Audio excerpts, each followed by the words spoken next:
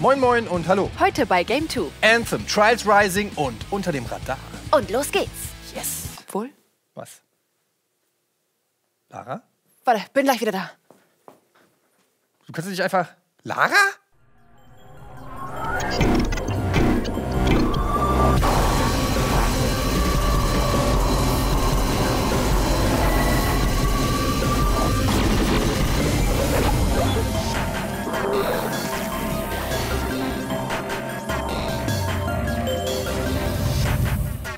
Achtung! Und bitte! Ähm ja, BioWare ist ja vielen Gamern ein Begriff, nicht wahr, Lara? Ja, Baldur's Gate und Mass Effect gelten ja quasi als Meilensteine. Mit Anthem will BioWare aber neue Wege gehen. Weniger Story, mehr Geballer. Ja, aber diese Abkehr von alten Stärken gefällt bei weitem nicht jedem, Eddie. Was Markus davon hält, das sagt er euch jetzt. Ich bin ein Spieler mit einfachen Bedürfnissen. Gebt mir funkelnden Loot, Gameplay, das ballert und vielleicht noch die Möglichkeit, das Ganze mit Freunden zu zocken. Schon bin ich glücklich. Genau deswegen sind Spiele wie Destiny oder The Division mein Ding. Hier, alleine Bungies Loot Shooter habe ich 647 Stunden reingepumpt. Und dafür schäme ich mich kein bisschen. Was rutschte mir dann 2017 das Herz vor Freude in die Buchse, als ich folgende Szenen erblickte? Anthem. BioWares Shared World Shooter und Exosuit-Antwort auf Destiny und Co. So, jetzt ist das Ding endlich da und ich kann es kaum erwarten, mich ins Abenteuer zu stürzen. Los geht's!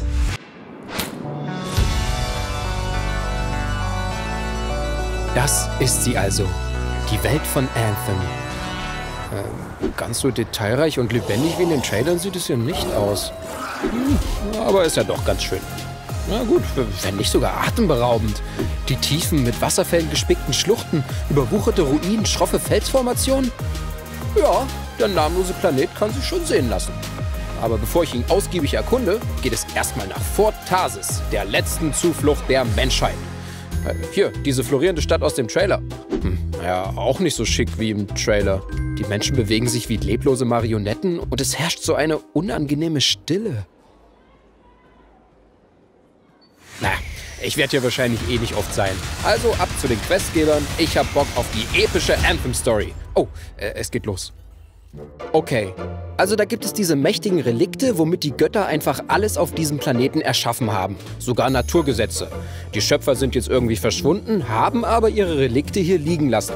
Eine fiese Militärtruppe unter der Führung des bösen Robolords Monitor hat das mitbekommen. Tch, Monitor. Tja, äh, also wollen die das für ihre superbösen Machenschaften und ich bin der Held und muss sie aufhalten. Hm. Eine etwas kreativere Story hätte ich jetzt von BioWare schon erwartet. Ah, aber das kommt bestimmt alles noch. Was ist? Wartet ihr, bis alles vorbei ist? Los! Okay, viel mehr Story gab's jetzt in den letzten Stunden nicht. Dafür reichlich hiervon.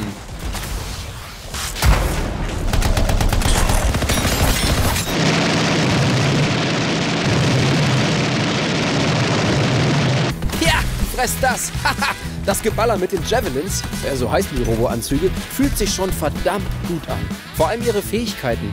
Die variieren von Klasse zu Klasse. Ich kann Gegner mit Lenkraketen zerlegen, mit ätzendem Nebel zermürben oder mit heftigen Blitzen grillen. Bam! Und wenn man die Fähigkeiten aufeinander abstimmt, kann sowas passieren.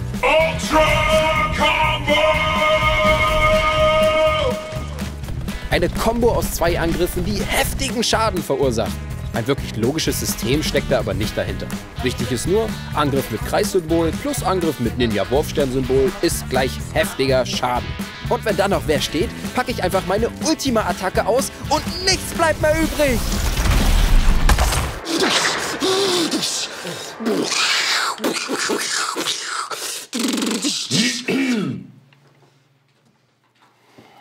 Ja, was denn? Ist halt geil. Ja, die Fähigkeiten sind wirklich fett. Und ich fühle mich dabei wie Iron Man. So habe ich mir das vorgestellt. Und dann erst das Herumfliegen. Das sieht nicht nur cool aus, sondern steuert sich auch perfekt. Äh, gut, manchmal bin ich auch abgestürzt, weil die Dinger schnell überhitzen können. Nervt zwar etwas, aber immerhin kann man sie mit Wasser wieder abkühlen. Und davon gibt's ja eh reichlich. Aber das Fliegen ist nicht nur für gemütliche Ausflüge praktisch, sondern auch im Kampf. Ich kann zum Beispiel blitzschnell aus dem Flug einen starken Nahkampfangriff starten oder ich bleibe in der Luft und baller schwebend weiter.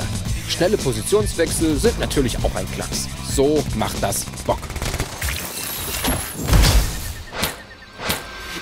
Okay, ich spiele schon fünf Stunden und habe noch keine einzige coole Waffe gefunden. Ich meine, ich stecke hier in einem fetten Kampfanzug, der Blitze und Eis verschießen kann und baller gleichzeitig mit popligen Pistolen oder ollen Maschinengewehren? Klar, vernünftigen Schaden machen sie ja, aber sie sind leider alle super langweilig. Ich will Future-Waffen.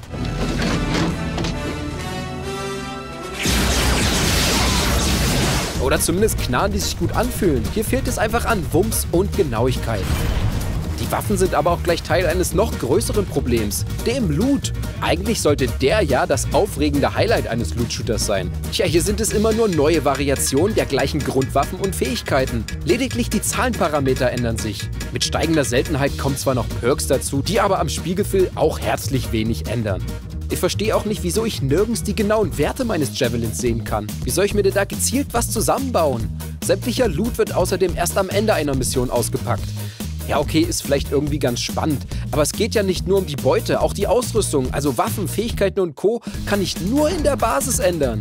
Wieso muss ich dafür immer zurück nach Fort Tarsis? Kann das nicht auch einfach in der Mission gehen? Ich kann die Stadt echt nicht mehr sehen. Hier wirkt alles so künstlich und alle scheinen nur auf mich zu warten, um mir von ihren Lebensgeschichten oder seltsamen Fantasien zu erzählen. Und mein Traum ist es, ein wildes Koroks-Baby zu streicheln. Aha. Oder sie versuchen krampfhaft, sich mit mir anzufreunden. Sag mal, hast du Zeit zum Mittagessen? Nein, will ich nicht. Und überall verfolgen mich ihre leeren Blicke oder ihre gruselig grinsenden Gesichter. Ah, äh, geht weg. Äh, oder gebt mir wenigstens eine Sidequest. Ach nee, ihr wollt ja nur labern.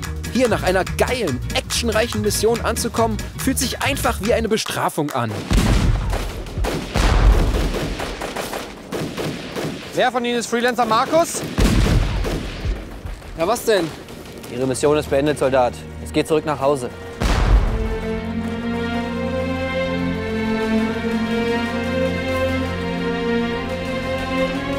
Los jetzt, mitkommen! Nein, nein, nein, ich will nicht nach Hause, ich will auf dem Schlachtfeld bleiben, bitte! Ich will nicht zurück! Nein! Der Arme. So,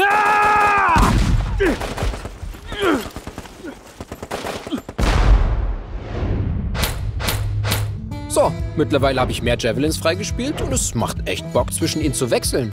Der Interceptor ist der schnellste Anzug und primär für den Nahkampf ausgelegt.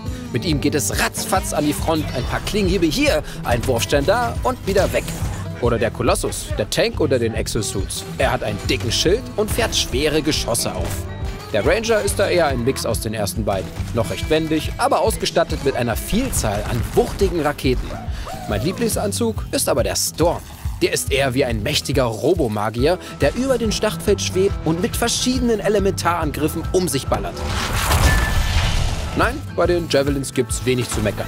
Alle vier Klassen spielen sich schön unterschiedlich und dürften so ziemlich jeden Geschmack zufriedenstellen. Jetzt muss ich beim Ballern nur noch gut aussehen.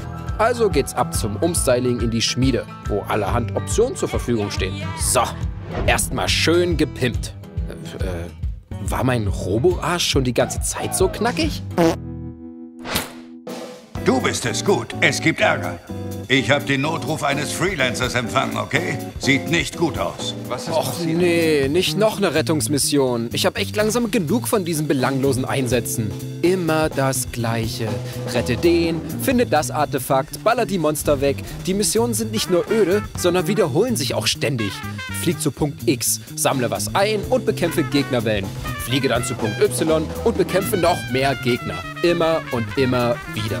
Dazu kommt, dass die Gebiete einfach viel zu ähnlich aussehen. Entweder baller ich zwischen Ruinen oder in Höhlen. Da kann die Welt noch so schick sein, wenn es im Grunde nur zwei Schauplätze gibt, wird's halt schnell dröge. Genauso die Gegner, die sind auch nicht wirklich vielfältig. Da wären diese wirklich langweiligen Insekten-Aliens. Außerirdisches Getier und zwei Fraktionen von Menschen, die fast gleich aussehen. Das war's schon. Und von der minder bemittelten KI fange ich gar nicht erst an. Die rennen entweder blind auf mich zu oder stehen dumm auf der Stelle. Ach ja, einen richtigen Bosskampf hatte ich bis jetzt auch noch nicht. Ich weiß nicht, wann hier mal was Spannendes passieren soll, aber langsam werde ich ungeduldig. Endlich! Ich soll die Grabkammern gefallener Kriegshelden finden und öffnen. Allerdings muss ich mich dafür erstmal als würdig erweisen. Das klingt doch endlich mal nach einer epischen Aufgabe. Oh, da, da ist auch schon das erste Grab. Welche spannenden Rätsel erwarten mich wohl? Welche Herausforderungen muss ich... Äh, 15 Truhen öffnen? 25 Mal Ressourcen ernten? 10 Sammelobjekte finden?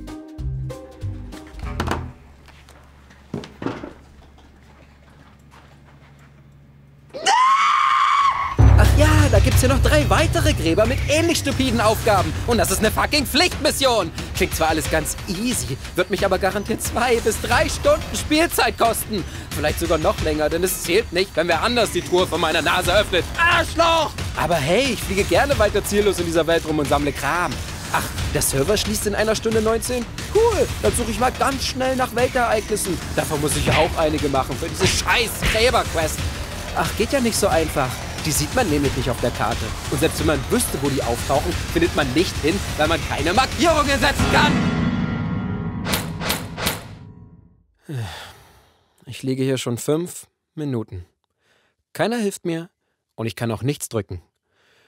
Nicht mal ins verdammte Menü komme ich. Ich muss jetzt ernsthaft das Spiel neu starten. Och nö, stimmt. Jetzt lädt es ja wieder so ewig. Ich kann's echt nicht mehr sehen. Überall Ladebildschirme. Vor und nach jeder Mission. Nach dem Ergebnisbildschirm, wenn ich zu weit vom Team entfernt bin. Ey, sogar wenn ich eine Höhle betrete oder neue Ausrüstung anlegen will. In Destiny kann man beim Laden wenigstens ins Menü und dort diverse Dinge tun. Hier warte ich einfach nur elendig lang ab. Ich würde mich ja gerne weniger aufregen, aber die technischen Problemchen fangen hier erst an. Wichtige Bereiche lassen sich nicht betreten, das bedeutet Neustart. Wegpunkte erscheinen nicht und lassen mich ziellos umherirren. Gegner bleiben nach dem Abschuss noch stehen oder verschwinden plötzlich. Ja, oder das Spiel hört einfach nicht mehr auf, Gegner auszuspucken. Hier habe ich ungelogen 20 Minuten am Stück Feinde geplättet und es ging einfach nicht weiter. Also mal wieder Neustart. Okay. Jetzt läuft alles wieder. Ich habe mich beruhigt. Hey, und gerade geilen Loot gefunden. Die Mission habe ich auch gleich geschafft und...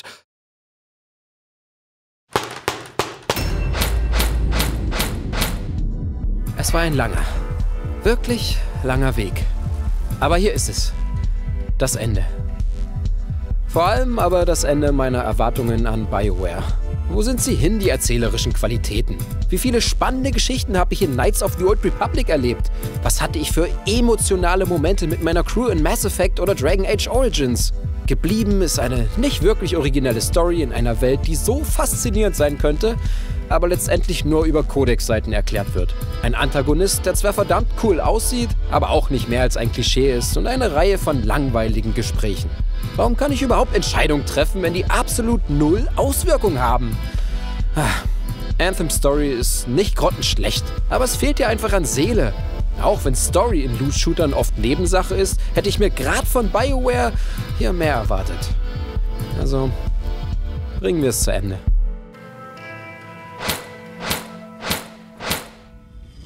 So, Story vorbei und was mache ich jetzt?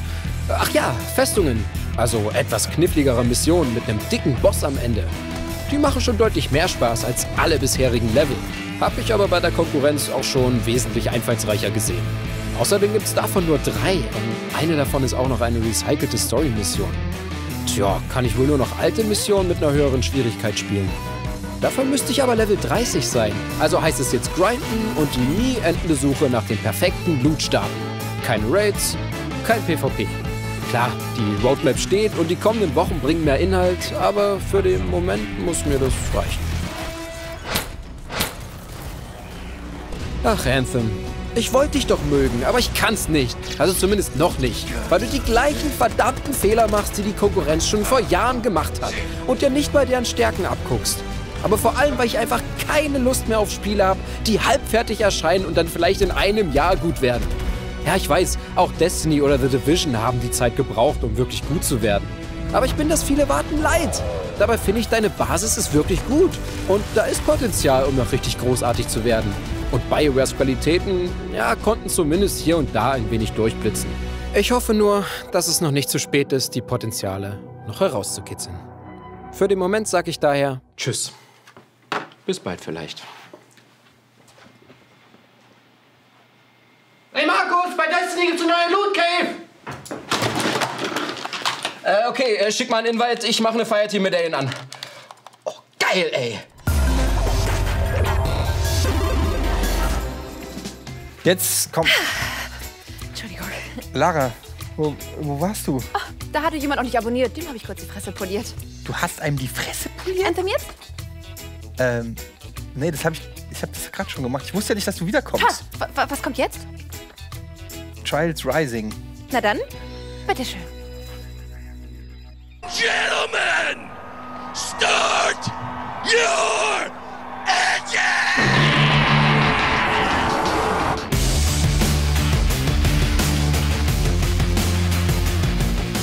Spätestens seit Trials HD hat das zweieinhalbdimensionale Motorradgefrickel einen festen Platz im Herzen der Spieler. Dieses Spiel ist die Ausgeburt der Scheiße. Nach Trials of the Blood Dragon und Trials Fusion hatte man aber irgendwie das Gefühl, die Reihe hätte ihren Zenit überschritten. Umso schöner ist es zu sehen, dass Trials Rising uns nun eines Besseren belehrt. Am Grundprinzip hat sich wenig geändert und das ist auch gut so. Durch gekonnten Einsatz des Gaspedals und Verlagerung des Körpergewichts muss das Ziel möglichst schnell und unfallfrei erreicht werden. Die circa 120 Strecken stellen euch dabei vor immer neue Herausforderungen und der Schwierigkeitsgrad steigt stetig von Denke, müsste ich hinkriegen. zu Oh mein Gott! Verteilt über eine Weltkarte tuckert ihr durch verschiedenste Locations, die in puncto Abwechslung und Kreativität alles in den Schatten stellen, was man bei Trials jemals befahren hat. Mal geht's durch ein Filmset in Hollywood, mal hoch über den Wolken über die Ladung eines Flugzeugs und mal durch die Tore einer mittelalterlichen Burg. Die Strecken sind vollgepackt mit liebevollen kleinen Details. Und das, obwohl man eigentlich kaum darauf achten kann. Es gibt nämlich ordentlich was zu tun. Neben den altbekannten Medaillen, die ihr für das Unterbieten vorgegebener Zeiten bekommt, versorgen euch eure Sponsoren mit Aufträgen. Hier müsst ihr beispielsweise eine bestimmte Anzahl an Front- oder Backflips ausführen, fehlerlos fahren oder Wheelies hinlegen. Selbst die einfachsten Strecken können so zu einer echten Herausforderung werden. Zusätzlich könnt ihr es mit Zeiten zufälliger Herausforderer aufnehmen, euer Talent bei verschiedenen Minigames beweisen und am Ende jedes Gebiets wartet ein Turnier, bei dem ihr euch auf mehreren Strecken gegen andere KI-Fahrer durchsetzen müsst.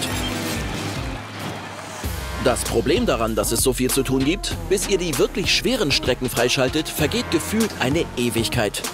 Ihr bekommt XP, steigt Level auf und schaltet so neue Gebiete und Herausforderungen frei. Und als wäre der Levelgrind nicht schon langwierig genug, bekommt ihr auch noch alle Nase lang Lootkisten hinterhergeschmissen, in denen haufenweise sinn- und geschmacklose Kosmetik-Items darauf warten, ausgepackt zu werden.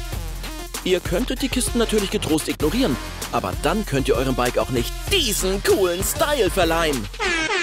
Oder euren Fahrer mit diesen coolen Klamotten ausstatten. Oder das Beste von allem, euch am Ende jedes gottverdammten Rennens diese coole Siegerpose anschauen.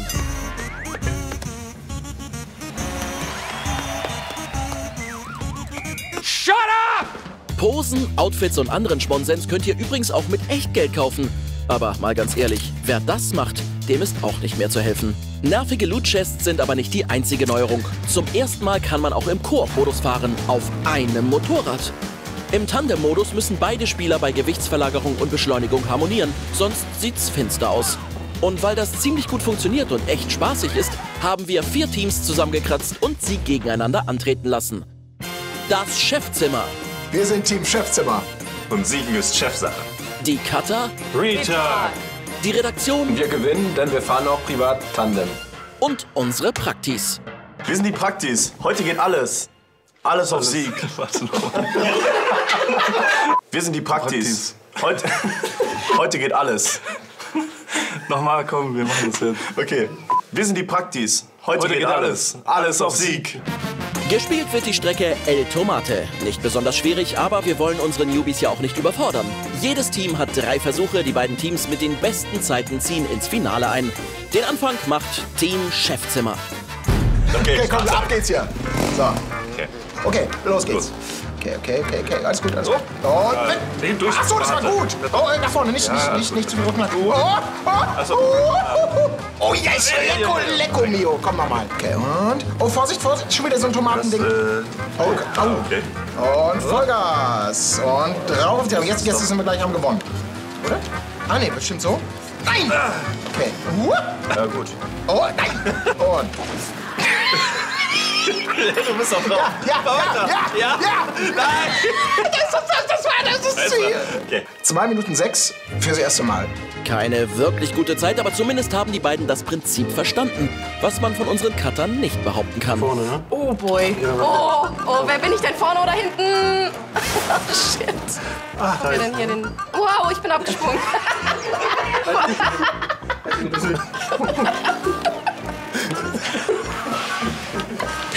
Geil. Ach so, okay. Geschäft. Mhm, mhm, okay. okay, warte. Willst du ansagen, wie wir das machen? oder? Nein. Okay, gut. Für gar nichts. Okay. Was ist das? Was ist das? wahrscheinlich. Nee, Was ist das? Augen, wir müssen Oh, bestimmt ist darauf. das? Wir müssen bestimmt darauf. Wohin? geschossen. Oh, Unfall. Ah. Oh, oh, was? Ah, shit. Oh nein. Warum denn Unfall? Wir haben es doch geschafft. Bin ich der Meinung. Was für eine Blamage. Hätten die beiden doch lieber mal die Trials Universität besucht. Dort wird man Schritt für Schritt zum Trials Profi gecoacht. Skills wie Bunny Hops oder richtiges Landen werden erst mit kurzen Clips erklärt und dann in einem Parcours auf die Probe gestellt. Motivierend, fordernd und lehrreich. Die Trials Uni ist ein tolles Feature. Nur wissen Nasty und Steve leider nichts davon. Naja, vielleicht haben sie ja trotzdem was geleront. Okay, let's kaum go. geweint. Okay. So, los geht's. Komm. Ja, ja, jetzt kommt die dumme Pfanne. Oh, doch, Aber doch, ist doch, alles doch, gut. alles ist gut. Siehst du, guck mal, perfekt. Ah, die. Fässer. Komm, komm, jetzt sind wir schon da. Jetzt sind wir schon da. Jetzt. Und, oh, yes, yes, yes, yes, yes, perfekt. Nice. Shit. So, jetzt sieht gut aus. Ja, ja, ja, mal, komm. komm. Nimm ihn mit, nimm ihn. Ja, so. ja, ja, ja, ja. Immerhin, die Zeit von Team Chefzimmer wäre damit schon mal vom Tisch, aber es kommen ja noch zwei Teams. Alles auf Sieg, ne? Ja, alles auf Sieg. Gibt vielleicht erstmal einer Gas. Alter, schon wieder. Okay. Nee, noch nicht. Ich fahr von alleine weiter. Bist du? Sehr gut, wir sind super. Okay. Ja, das ist gut. Oh nein, nein, nein. Oh. Doch, doch, doch. Sehr gut, sehr gut. Bam. Das ist super. Oh nein, nein, nein, nein, nein, nein, nein, nein. Doch, doch, doch. Ja. Okay. Wir sind vorne. Das ist nämlich jetzt hier die richtige Zeit. Heide Witzka, beide Teams fahren extrem heiße Reifen und lassen die Cutter und Team Chefzimmer im Staub zurück. Tja, Leute, der Tandem-Modus ist wohl nichts für euch, aber zum Glück bietet Trials Rising genug andere Optionen. Der Streckeneditor ist wieder mit an Bord. Online könnt ihr gegen bis zu sieben andere Fahrer antreten. Private Matches funktionieren momentan allerdings noch nicht. Und offline sind vier Spielerpartien auf speziellen Strecken möglich. Macht zwar Spaß, das Spawnverhalten sorgt stellenweise aber für ziemlich unfaire Situationen. Hier wäre noch etwas Feintuning notwendig. Das ist alles ein Dreck hier. Du bist einmal kaputt und bist direkt aus dem Scheiß. Oh Mann, ich brauche nur noch einen Punkt. Allgemein ist die Performance von Trials Rising noch ausbaufähig. Ab und zu kommt es zu kleinen Lags, Einbrüchen der Framerate und auch die Ladezeiten könnten etwas kürzer sein. Dem Spielspaß tut das aber keinen Abbruch. Etwas problematischer wird es auf der Switch. Hier läuft Trials per se nur mit 30 Frames, den Strecken fehlen Details und mit den Joy-Cons fällt präzises Gasgeben schwer. Spielbar ist es aber allemal. Und egal auf welcher Plattform, unserer Meinung nach haben wir es hier mit dem besten Teil der Serie zu tun. Die Universität und der Tandem-Modus sind sinnvolle Ergänzungen für ein zeitloses Spielprinzip. Einem Online-Freund eine neue Rekordzeit um die Ohren zu knallen, ist immer noch ein tolles Gefühl. Und das in Kombination mit der Streckenvielfalt und einer gegen unendlich strebenden Lernkurve sorgt dafür, dass Trials Rising einfach niemals langweilig wird. Den Spaß lassen wir uns nicht mal durch die nervigen Lootboxen versauen. Ach ja, da war ja noch was. Das Finale unseres Tandem-Turniers. Teamredaktion gegen ihre unterbezahlten Kollegen. Neue Strecke, neues Glück. Dieses Mal gibt es nur zwei Versuche. Und da Teamredaktion in der Vorrunde die bessere Zeit hatte, müssen sie vorlegen. Okay, Finale. Ich vorbei. Oh Gott, yikes! Sehr gut, nein! Oh. Ja, okay. Das wird die Stelle. Der erste Versuch geht schon mal gründlich in die Hose, also muss es der zweite und letzte Versuch richten. Aber Markus und Sebastian lernen aus ihren Fehlern. Oh. Das war doch, also das, ja, perfekt nicht, aber das ist eine ziemlich gute Zeit, ey. Stimmt, doch unschlagbar ist sie nicht. Zumindest nicht für unsere Superpraktis.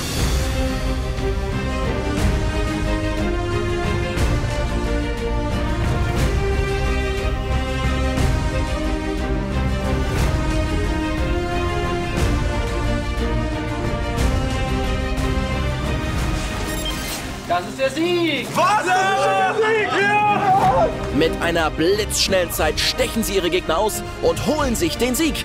Nun sind sie mehr als Praktis. Sie sind Champions. Das ist euer Applaus. Dankeschön, danke. Das geht raus an alle Praktis da draußen. Ja.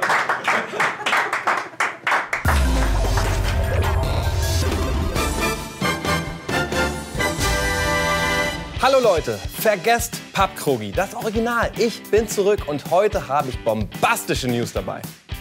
Moment mal, was ist das? Warum habe ich Schild und Schwert in der Hand? Und was hat das mit Pokémon zu tun? Na, ist doch klar oder nicht? Gestern Abend gab es wieder mal einen Nintendo Direct. Und da wurde nichts weniger als der nächste vollwertige Pokémon-Teil angekündigt. Und das für die Switch. In Pokémon Schwert und Schild dürfen wir uns noch in diesem Jahr durch die neue Region Galar kämpfen, deren Karte, Landschaft und Städte stark an Großbritannien erinnern, inklusive Fußballstadion und London Eye. Außerdem haben wir die neuen Starter zu Gesicht bekommen. Mit Chimpep, Hoplo und Memeon gibt es wieder drei knuffige Alternativen für den Trainer von morgen. Auch die Zufallskämpfe kehren dem Trailer nach zu urteilen zurück. Diese hatten in Pokémon Let's Go ja noch gefehlt. Von süßen Knuddelmonstern zu gammeligen Shabo-Zombies. Overkills The Walking Dead steht einfach unter keinem guten Stern. Doch die schlechten Nachrichten könnten bald ein Ende haben, weil Publisher Skybound nämlich den Stecker zieht. Es scheint ganz so, als hat sich Entwickler Starbreeze mit dem Zombie-Shooter schlichtweg verhoben. Die desaströse PC-Version wurde bis heute nicht gesund gepatcht, die für Februar geplante Konsolenumsetzung auf unbekannt verschoben. Dann gab auch noch der ehemalige Studiochef den eigenen Mitarbeitern die Schuld am Desaster, indem er ihnen mangelnde Arbeitsliebe vorwarf. Jetzt hat Publisher Skybound die Schnauze voll vom Hickhack bei Starbreeze. Die Zusammenarbeit zwischen Entwickler und Publisher wurde für beendet erklärt. Im offiziellen Statement heißt es, dass trotz aller Bemühungen Starbreeze nicht die versprochene Qualität abgeliefert habe. Die Zukunft von Overkills The Walking Dead sieht entsprechend düster aus. Skybound suche aber nach anderen Möglichkeiten, die Zombie-Marke als Spiel umzusetzen. Oh Mann, Walking Dead Spiele haben es in letzter Zeit ja wirklich nicht leicht. Da freut man sich doch über die guten Nachrichten. Und davon gibt's im Newsticker jetzt so einige. Möge der Spielspaß mit uns sein. Am 13. April will Electronic Arts Star Wars Jedi Fallen Order in Chicago enthüllen. Das gab der US-Publisher auf Twitter bekannt. Hoffentlich mehr als ein Gerücht. Kotaku-Redakteur Jason Schreier hat die Hoffnung auf eine Neuauflage von Demon's Souls hart befeuert. In einem Forum bestätigte der in der Regel gut informierte Brancheninsider, dass From Software daran arbeite. Ab in die Wüste! Conan Exiles Macher Funcom hat bekannt gegeben, dass man in den nächsten sechs Jahren drei Spiele basierend auf Frank Herberts Wüstenplanet-Romanen plane. Eines davon sei ein Open-World-Multiplayer-Titel. Auf zu neuen Ufern! Patrick Söderlund, der vor kurzem als Chief Design Officer bei EA ausgestiegen ist, hat sein eigenes Entwicklerstudio Mbug Studios gegründet. Das rund 50 Köpfe starke Team arbeitet bereits an einem Cypher-Abenteuer, von dem wir hier die ersten Testbilder sehen. Verschwunden. Der taiwanische Entwickler Red Candles hat sein Horrorspiel Devotion vorerst vom Markt genommen. Der Grund? Verschiedene Kunstwerke im Spiel würden den chinesischen Präsidenten Xi Jinping persönlich beleidigen, was für viele negative Bewertungen in China gesorgt hat. Und zu guter Letzt habe ich noch eine kleine Spielerei für euch. Ihr wolltet euch schon immer mal im God-Modus in euren Lieblings-Nintendo-Leveln bewegen? Tja, dank einiger findiger Tüftler ist das jetzt möglich. Auf NoClip wählt ihr einfach ein Nintendo-Game aus. Danach das Lieblingslevel oder den Lieblingsort und zack, schon dürft ihr nach Belieben die Map erkunden. Neben Klassikern wie diversen Mario Kart-Episoden, älteren Zelda-Spielen oder Banjo-Kazooie experimentieren die Macher der Seite sogar schon mit Maps aus Breath of the Wild und Mario Odyssey. Die Modelle für die Karten stammen übrigens höchstpersönlich von Nintendo und Co. Ah, ist das schön! Hey Leute, ich fliege noch ein bisschen in Hyrule durch die Gegend und bin deswegen raus für heute. Ich sag Tschüss, bis nächste Woche. Yay! Und zu guter Letzt unter dem Radar mit tollen Themen wie zum Beispiel Ähm, ein Skyrim ohne alles, Schweinsnasen auf zwei Beinen und eine Mischung aus Tetris und Battle Royale. toll, was Sebastian da wieder aus der Grabbelkiste gefischt hat. Doch zuerst das, Intro. Matrose, wie konnten Sie die ganzen Spielspaßgranaten übersehen? Sie waren unter dem Radar. Unter dem Radar! Freunde, ihr wisst, was jetzt kommt. Ich habe eine fette Ladung Spiele im Gepäck, die womöglich unter eurem Radar fliegen. Bevor ich die aber auspacke, müsst ihr erstmal was dafür tun. Ich möchte, dass ihr euch die folgenden Spiele zuallererst in euren Köpfen ausmalt. Unser Grafiker hilft euch auch dabei. Also, Spiel Nummer 1. Stellt euch Hotline Miami vor, das auf den Schlagzeugsound vom Birdman-Film trifft. Und mit ihm Liebe macht. Und am Ende taucht ein schlecht gelaunter Gorilla auf. Ja, damit habt ihr ein ungefähres Bild von Ape Out. Als wütender, entflohener Gorilla zerkloppt ihr hier in stylischer Popart und zu treibenden Beats gesichtslose Sicherheitsfuzis.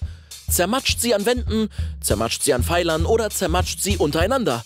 Ihr könnt sie aber auch greifen, ihre Schüsse umleiten, als Schild nutzen oder aus dem Fenster zermatschen. Die prozedural generierten Level fühlen sich dabei immer wieder unerwartet neu an, ohne aber zu baukastenmäßig zu wirken. Ape Out ist frenetisch, aufregend und knacke schwer, dank direktem Wiedereinstieg nach Game Over aber auch nie frustig. Und damit bewirbt es sich schon jetzt direkt um die Stellen das bessere Hotline Miami 2 und Indie Highlight des Jahres. Toll! Spiel Nummer 2. Stellt euch als nächstes Blöckchen Puzzler Tetris vor, das mit PUBG anbandelt. Deshalb tauchen plötzlich 98 andere Arschlö... Ähm, ich meine Spieler auf, die euch ungefragt Steine an den Kopf werfen. Das ist Tetris 99, zugleich Puzzlespiel und Battle Royale. Das Spielprinzip ist so wie eh und je. Stapelt verschiedenförmige Steine zu lückenlosen Reihen, um sie abzubauen. Wer es vermasselt und über den oberen Bildschirmrand hinauswächst, ist raus. Der große Twist von Tetris 99 ist aber, dass euch dabei 98 andere Spieler Gesellschaft leisten und sich mit euch royal darum betteln, der letzte Hochstapler der Runde zu sein. Dazu könnt ihr abgebaute Klötzchen gezielt ins Feld eurer Gegner werfen, die euch diesen Gefallen aber natürlich auch tun. Abgesehen von diesem Spielmodus hat Tetris 99 derzeit leider nichts auf dem Kasten. Da uns der aber ein persönliches Blumenpflücken ist, passt das schon. Spiel Nummer 3. Kennt ihr Skyrim? Ja? Gut, dann stellt euch das jetzt mal ohne Loot, ohne Rollenspielquatsch, ohne Kämpfe und ohne Drachen vor. Ach, und auch ohne fancy Rüstungen. Klingt nach Schnarch, ist's aber gar nicht.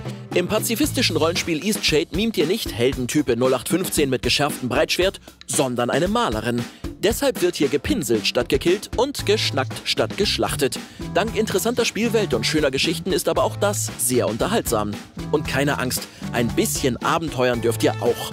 Dabei durchforstet ihr dann Wälder und Ruinen nicht nach der blutrünstigen Axt des Orkspalters plus 5, sondern eben nach Utensilien für eure Staffelei. Wer den üblichen Hack-and-Slay-Schlachthäusern müde ist, findet mit Eastshade eine unaufgeregte, sehr sympathische Alternative.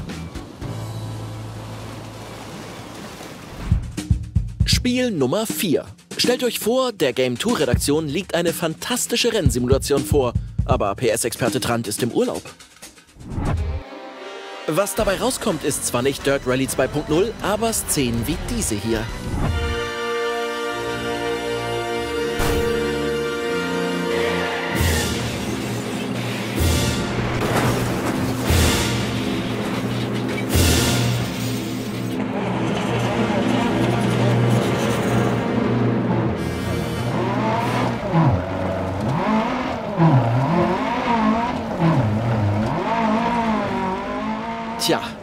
Rennspiel Mutterhirn Trant eiert der Rest der Redaktion eben wie kopflose Hühner über die matschigen Offroad-Pisten. Wir haben es versucht, aber so richtig gerissen haben wir nix. Das Spiel schert sich aber auch nicht sonderlich um Rallye-Noobs. Die nüchternen Anweisungen der Beifahrerin sind in unseren Ohren beispielsweise nur kryptisches Kauderwelsch. Mittig halten über Brustsprung für 180 über Kuppe lang. Achtung, Kabel 3 rechts verdeckt. Bis Stopp. Gut gemacht. Genauso gut könnte sie auch das hier sagen. Pfeil links. Größer als. Pfeil rechts. Beule. XY 15,5. Quersumme aus 6. Einmal die 4 zum Mitnehmen. Extra viel Käse. Danke.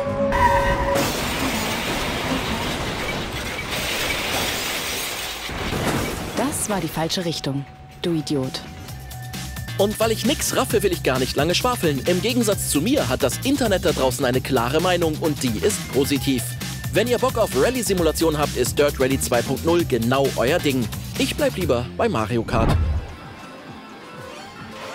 Oh, was? Welches miese, hundeschweinige, pilzige. Spiel Nummer 5. Stellt euch ein Verlies vor, das nahezu endlos ist, in dem mächtige Monster sagenumwobene Relikte und unzählige Reichtümer auf euch warten. Und ihr sitzt lieber in der Ecke und spielt Mau Mau. Slay the Spire ist ein Roguelike-Kartenrollenspiel. Um die Spitze des namensgebenden Turms zu erklimmen, müsst ihr auf dem Weg mit Schleimen, Teufeln und Sichelvögeln rangeln. Da geht's dann aber nicht um starke Oberarme, sondern nur darum, wer die fettesten Asse im Ärmel hat. Die Karten eures Decks dienen als Skills, von denen euch pro Zug fünf zufällig zugespielt werden. Ihr müsst eure Aktionen taktisch wählen und das Deck im Verlauf des Dungeon-Kreuzzugs gescheit ausbauen. Nur dann seht ihr auch im Kartenaustausch gegen große Bossmonster einen Stich. Haha, Stich, versteht ihr? Slay the Spire schafft es aber trotz der nerdigen Grundlage verständlich und motivierend zu bleiben, ohne dabei aber an Herausforderungen zu geizen. Spiel Nummer 6. Stellt euch das Ungeheuer aus PT vor, das nach China auswandert. Und ja, ähm, ja, das war's. Devotion ist ein taiwanesisches Horrorspiel mit einer sehr eigenen unwirtlichen Atmosphäre. Im Mittelpunkt steht das Schicksal einer chinesischen Familie, das ihr nach und nach in fieberhaften Albträumen aufdröselt. Der Grusel kriegt hier ganz subtil in euren Kopf und verzichtet auf allzu plumpe Jumpscares. Stattdessen lockt es euch lieber mit immer weiteren Bruchteilen des großen Mysteriums, während um euch herum weinende Geisterkinder und Gruselpüppis an euren Nerven zerren. Ganz besonders fantastisch ist es, dass den Entwicklern immer wieder neue Methoden einfallen, das Ganze zu inszenieren. Wie genau, verraten wir euch an dieser Stelle aber nicht. Spielt Devotion lieber einfach schnell selber.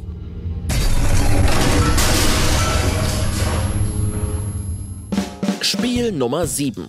Stellt euch Rayman vor, der von einem Affen, einem Schwein, einem Mönch und ähm, Hulk ersetzt wird. Schon habt ihr eine ziemlich gute Vorstellung von Unruly Heroes. Das wurde nämlich von ehemaligen Entwicklern der wunderschönen Yubi-Plattformer Rayman Origins und Legends entwickelt und wirkt spielerisch wie optisch sehr ähnlich. Das kann man jetzt als müde Kopiererei bezeichnen, uns hat's aber gefallen. So schicke Jump'n'Runs gibt's eben nur selten. Das bunte Heldengespann mit seinen unterschiedlichen Fähigkeiten wird immer wieder vor kleine, charakterabhängige Rätsel gestellt. Die lockern zwar das Geschehen auf, stören aber auch etwas den Spielfluss. Dank gelungener Steuerung und gutem Leveldesign ist Unruly Heroes aber trotzdem eine schöne Empfehlung für alle Plattformer-Fans. Vor allen Dingen, wenn ihr weitere Mitspieler an eurer Seite habt. Spiel Nummer 8. Stellt euch Schweinenasen vor, die verschiedenfarbig aussehen und auf Beinen laufen. Und diese Schweinenasenbeine ähm, versuchen einem weltherrschaftsgierigen Despoten, der aussieht wie eine rosa Wolke mit Beinen, das Handwerk zu legen und, äh, ja okay, jetzt wird's langsam lächerlich. Pico Nico ist ein schräger Adventure-Plattformer. In ihm geht es um Zylinderhutwolke, der den Einwohnern von Pico Nico Hausen gratis Geld anbietet, wenn er dafür deren Ressourcen an sich reißen darf. Die einzige Hoffnung ist Pico, das Schweinenasenbein. Und ja, so richtig raff ich das auch alles nicht. Muss ich aber auch gar nicht, denn hinter all der Seltsamkeit steckt ein ziemlich anständiges, spielerisch überraschend bodenständiges 2D-Adventure. Das erzählt eine kurze, gewitzte Geschichte und fordert eure Kombinationsgabe. Richtig Laune macht der Zweispieler-Modus, in dem ihr nicht nur zusammen Rätsel, sondern möglicherweise auch gegenseitig eure Schweinenasen knackt. So, das waren alle Spiele für diese Folge. Wir hoffen, da war was für euch dabei. Macht das Beste draus. Ich bin raus. Tschüss.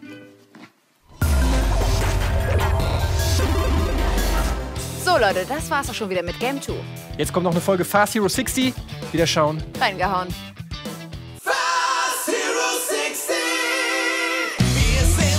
Verarscht. Es gibt keine Folge mehr. Tschö, ihr Spackos. Dieser Sieg geht raus an alle unterbezahlten Praktikanten, die da draußen sitzen. Ihr werdet bezahlt? Lasst euch nicht kleinkriegen. Ja, lasst euch nicht kleinkriegen. Genau. Immer weiter. Immer weiter. Und irgendwann könnt ihr auch so viel Durch erreichen. den Dreck. Irgendwann könnt ihr es euren äh, Sklaventreibern zeigen. Und immer daran erinnern, heute geht alles. Alles auf Sieg. Mann, ich vergesse das jedes Mal, ey. ich dachte, das funktioniert.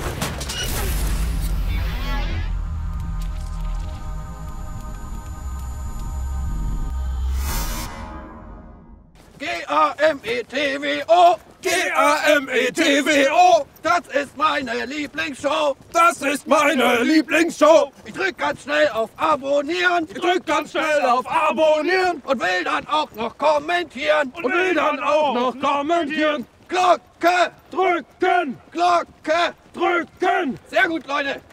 Und jetzt macht ihr alleine weiter. Ah.